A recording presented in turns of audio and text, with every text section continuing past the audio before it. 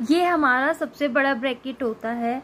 ये हमारा close bracket बोलते हैं कर्ली ब्रेसेस है ये ओपन ब्रैकेट है। तो जब हम बोर्ड इसको सिंप्लीफाई करेंगे तो हम पहले अपने ओपन ब्रैकेट को सॉल्व करेंगे फिर कर्ली ब्रेसेस को फिर क्लोज ब्रैकेट को ठीक है? तो सबसे पहले हम पूरे हम पूरे क्वेश्चन को कुछ आ, छेड़ेंगे ही नहीं, हम सिर्फ़ और सिर्फ़ इस ब्रैकेट की बात करेंगे सबसे पहले, ओपन ब्रैकेट की।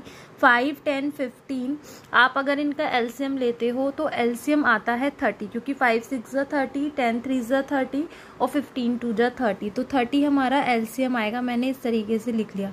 फाइव, सिक्स ज़ा थर्टी होता है, टेन, थ्री ज़ा थर्टी होता है, फिफ्टीन, टू ज़ा थर्टी होता है।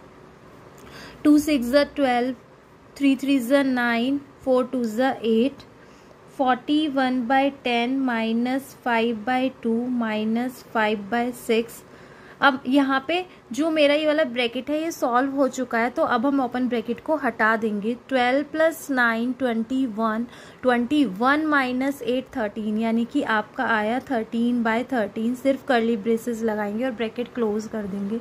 उसके बाद fourteen by ten minus five by two minus, यहाँ पे देखिए सिक्स फाइव ज़ा थर्टी होता है तो एलसीएम आएगा थर्टी फाइव से ऊपर नीचे मल्टीप्लाई थर्टी वन जा थर्टी होता है फाइव फाइव ज़ा ट्वेंटी फाइव थर्टीन वन जा thirteen forty one by ten minus five by two मेरा ये ब्रैकेट भी सॉल्व हो चुका है करली ब्रेसेस भी नहीं लगाएँगे, सिर्फ़ क्लोज ब्रैकेट लगाएँगे। ट्वेंटी फाइव में से थर्टीन गए twelve forty one by ten minus यहाँ पे आपका एलसीएम आएगा थर्टी क्योंकि टू फिफ्टीन जो होता है थर्टी ऊपर नीचे आप फिफ्टीन से मल्टीप्लाई करोगे। फिफ्टीन फाइव जो सेवेंटी फाइव और twelve forty one by ten minus seventeen में फाइव में से ट्वेल्व गए फाइव में से टू गया three sixty three by thirty अब देखिए थ्री के टेबल से कट रहा है, यहाँ पे काट दीजिए। हमने काट दिया, नीचे आया टेन ठीक है?